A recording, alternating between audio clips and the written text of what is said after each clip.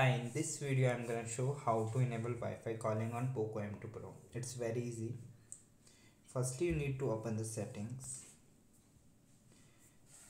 The same steps you can follow if you are having the different device of Xiaomi. So you after that you need to click on the option which is showing here SIM cards and mobile networks. Just click on that and after that you'll get so many settings here you need to click on the name of the sim card here. And after that you will get the option make calls using Wi-Fi. You need to enable it if in case of if disabled. And after that you go to uh, you need to go back and just click on the second one option which is the second sim.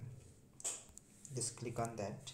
And after that you will get the option again make calls using the Wi-Fi. You need to enable it. After that you can use the Wi-Fi as a mobile network. So first you need to connect to the Wi-Fi.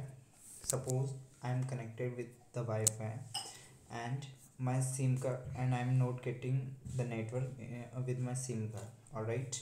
So the it will automatically switch to the Wi-Fi calling automatically and it will use the Wi-Fi network for the calling. So uh, you will have the clear voice and the clear uh, if you are having the low network connection with the sim so no need to worry about that. If in case you are connected to any Wi-Fi it will use the Wi-Fi connection. Alright? I hope you like the video. Please to like and subscribe my channel for more updates. Thank you for watching